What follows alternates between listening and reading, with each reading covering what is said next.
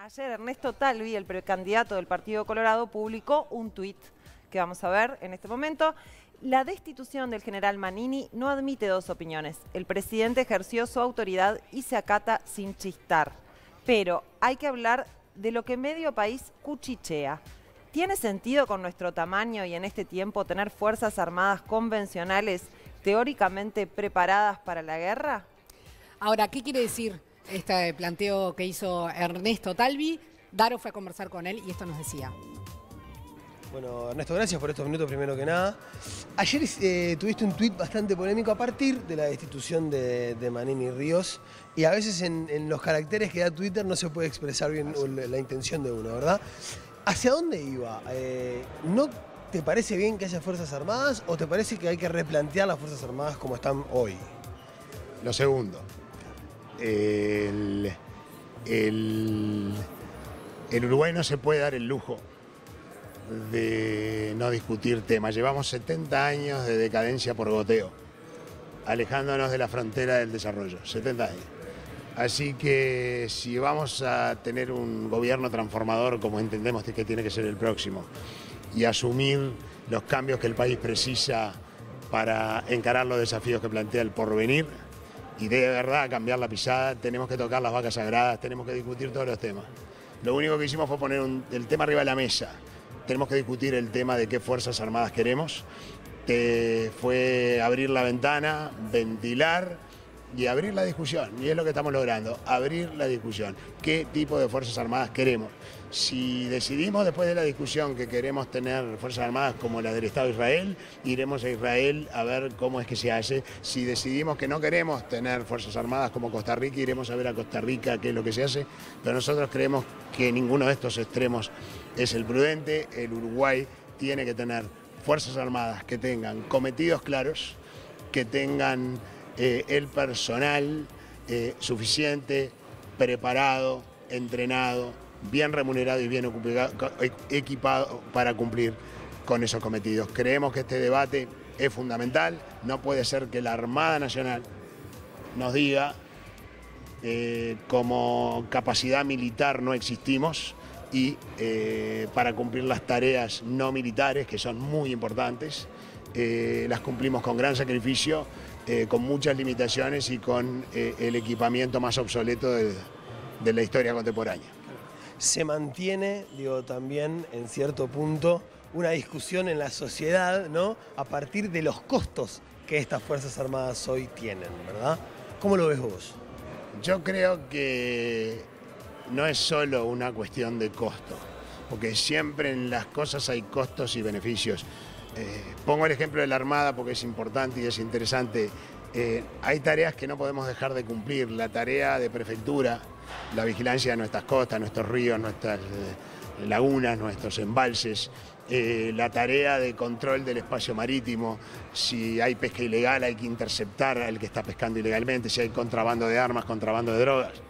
Esas tareas hay que cumplirlas, hay que cumplir la tarea de control de los puertos, del control de los buques, hay que cumplir tareas de balizamiento, de boyas, de faros, eh, cumplir con convenios internacionales de búsqueda y rescate. Todo esto la Armada lo tiene que hacer. Desastres naturales que muchas veces han participado. Bueno, sí, eso fue en general más el ejército que la Armada, pero estas son cosas que tenemos que hacer. Además, si queremos tener una fuerza militar disuasiva, bueno, es algo que nos tenemos que preguntar. Podríamos querer tener una fuerza mínima de disuasión, eh, pero en última instancia nos tenemos que plantear qué queremos hacer, qué personal precisamos para hacerlo, cómo tenemos que prepararlo, cómo tenemos que remunerarlo para redignificar la tarea y cómo tenemos que equiparlo para que se pueda cumplir efectivamente la tarea. Creo que esta es una discusión que se debe a la sociedad y que además va a tener como efecto secundario de volver a, cerrar definitivamente esta cicatriz, de que esta herida, de que las Fuerzas Armadas se vuelvan a reinsertar a la vida nacional como una fuerza respetada porque habremos consensuado y apreciada porque habremos consensuado entre todos los uruguayos qué Fuerzas Armadas realmente queremos y cómo las vamos a dotar de los recursos necesarios, humanos y materiales, para que cumplan su cometido con dignidad. Oh, ¿cuántos puntos abordó, eh? Sí, Desde lo presupuestal, desde este, eh, todo, todo lo que tienen o que no tienen para cumplir su tarea, desde el entrenamiento, es amplísimo el tema, como para decir a priori está bien o está mal. Personalmente creo que deberíamos tener, que, que nosotros tenemos que tener Fuerzas Armadas. Sí, yo, yo también creo que tenemos Sí. que tener Fuerzas Armadas, me parece que son Sí. importantes, pero también hay una cosa que, que decía eh, Talvi que me parece que es importante, em, que hay que, o sea, contextualizar para qué las Claro, queremos, cuál es el objetivo que tiene que cumplir cada una de las fuerzas dentro de las Fuerzas Armadas, Claro. qué tiene que cumplir el Ejército, para qué eh, la aviación y para qué eh, la Armada Nacional.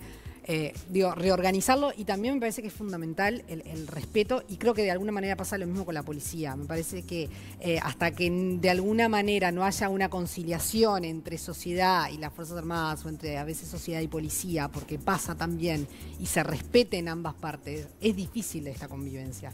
Está siendo difícil. Yo creo que podemos ir a no tener Fuerzas Armadas. Este, es polémico, sí, pero pienso que esa es una solución. ¿Por qué? Porque me parece que es un- una grieta este, que es muy difícil de cerrar entre lo que se considera que son las Fuerzas Armadas y la población general. Me parece que lo que hay que buscar es armar de contingentes preparados para determinadas cosas y obviamente con herramientas que se necesitan. El tema de la Armada Nacional es gravísimo, porque ya lo hemos visto acá en Vespertinas. O sea, no tenemos ni no, nos podemos, no podemos defender nuestra agua, que es nuestro mayor tesoro y que en realidad duplica o triplica, no me acuerdo, el- nuestro territorio terrestre, digamos, este, y no lo podemos defender. Es Y entonces eso, me parece que si uno armara un cuerpo especializado en eso, en esa tarea, y se le diera dinero a eso, fin Pero eso. entonces estarías como... el borde, Claro. Rivera, ¿no? O sea, yo creo que tendría que haber cuerpos especializados en determinadas tareas y nada más. Y que las Fuerzas Armadas como conjunto, Capaz que va un poco también a lo que decía Talvi de re- reestructurar todo eso, ¿no? no, que pero tal cual no, no... se puede reestructurar una cosa que es O sea, vos decís empezar de cero. vos decís, hipertrófica. y arrancar todo de cero. Arrancar de cero. Ujú. Bueno, eh, yo me puse a pensar cuáles y a, y a buscar cuáles eran los países en el mundo que había Sí. que prescindieron, digamos, de sus Para fuerzas saber, armadas. para tener datos de experiencias en otros lados. Y ahí ¿sí? me dio un poquito de Sí, escosor. un chucho. Porque estamos hablando de eh, países muy chiquititos, que por supuesto que Uruguay también lo es, pero mm, es como que, no sé si es que tengo complejo de petizo y me creo, creo que somos mejores Bueno, o qué, sé, o- qué yo te- pasa. yo te explico, Lo puedo te decir porque soy petiza, así que no- nadie, nadie se sienta Ojo con uno de los que vas a decir, decir que es más chico que nosotros. Hay dos ahí que... mm, No, no digo que son más chicos, pero es como que... Pero capaz sí. que lo ve más débiles que nosotros. No, No. sé por qué. Lo ve Bueno, más débil en el panorama mundial. Andorra, Costa Rica, que lo decía tal. Sí, sí. El Vaticano. Sea, el Vaticano no me interesa Sí, porque no. es un país. O sea, vamos Bueno. a separarlos tanto. Bueno, eh, tranquila, Venancia. Haití, Liechtenstein, Barbados, Islas Marshall, Islandia, que me llamó la atención, Panamá y Mónaco. Salvo algunas. Panamá Chicos, tiene el canal, eh, Panamá tiene el canal y es de ellos ahora y lo están administrando fantásticamente bien y no tienen fuerzas armadas. O sea, vos decís que están haciendo las cosas Sí, bien. pero Costa Rica el canal, es, es un país que tiene uno de los PBI mejores de toda América. Ojo al piojo. Y no precisa fuerzas armadas. Bueno. Islandia, que será puro hielo, pero tiene Tengo acá, Björk. tengo acá un mensaje de Tiene una... muy buenas series. eh, Islandia. Tiene a Bjork, tiene a Lazy Town. Lazy Town, Islandia, en cualquier momento eh, el, el- el deportista, que además es actor y productor, va a ser presidente y va a ser además... no, seguimos. Tremendo.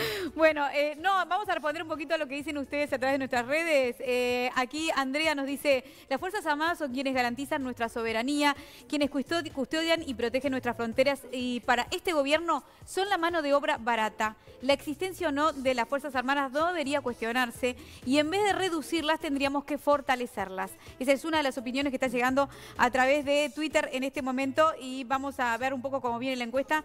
Digamos que el 62% según eh, mi bajada dice que sí son necesarias y un 38% dice que no son necesarias. Esto es por la pregunta de si a vos te parece que es necesario que Uruguay tenga Fuerzas Armadas o no, habida cuenta de que se ha cuestionado hoy este, por Talvi la existencia, ¿no? Es decir, bueno, tendrá que seguir como está, tendrá que cambiar, habrá que reformularla, habrá que Y empezar capaz de que cero. algo, capaz que es algo que tenemos que discutir como Sí. sociedad, como dice Talvi, que si realmente eh, plantearnos qué, qué es lo que, que queremos. Claro. la Bueno, entonces, te- Armadas, ¿qué tendría que haber? Un plebiscito, ponele. O sea, tenés que Y consultarnos bueno, por a lo, nosotros. por lo pronto eh, ponerlo sobre la mesa y dejarnos a veces discutir cosas que son bastante pavas. Pero lo que pasa es que de alguna manera que se está realmente sea discutiendo, importante, ¿no? pero de alguna manera se está discutiendo porque la, eh, digamos, toda la discusión sobre la caja militar, eh, que se le dice la caja militar, ¿no es así? Es el- son, los, La re- son las pensiones de, lo- de los, de los militares. La reforma de Sí. las La pensiones reforma de las pensiones militares del sistema, ¿no? este, eso se, se puso sobre la mesa y fue bastante polémico todo lo que se dijo de un lado y del otro,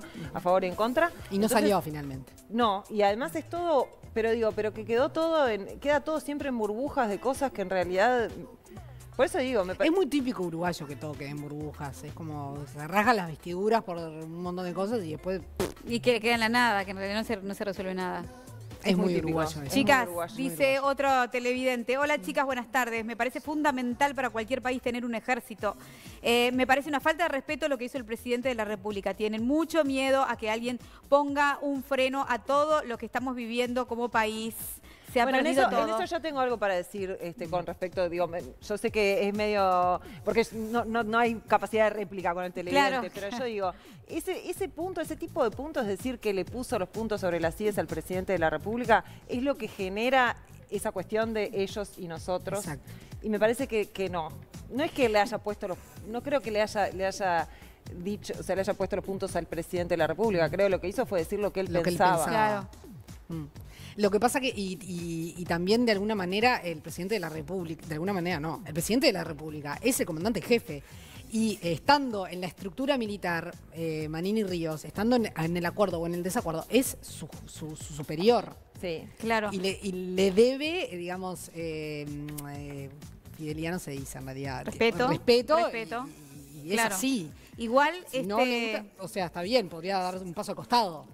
Para mí no fueron actos de Manini Ríos como explosivos, que en el momento, porque hace mucho tiempo que viene haciendo este tipo de declaraciones. Lo y está de- toreando. ¿sabes a quién desde siempre él sabe que no lo puede hacer y desde siempre sabe que alguna amonestación, incluso la expulsión, estaba prevista. A mí me llama la atención. A mí me ¿Qué gustaría, eh, si ¿No? pudiera volver el tiempo, atrás, el tiempo atrás, escuchar a- al general Liber Sereni también. Al general Liverpool, uf, Ui- Huidobro y el general Liber Sereni son dos personas que hoy ¿sabes me cuántos gustaría quisieran? saber qué pensaban. No hubiera llegado a esto, pero.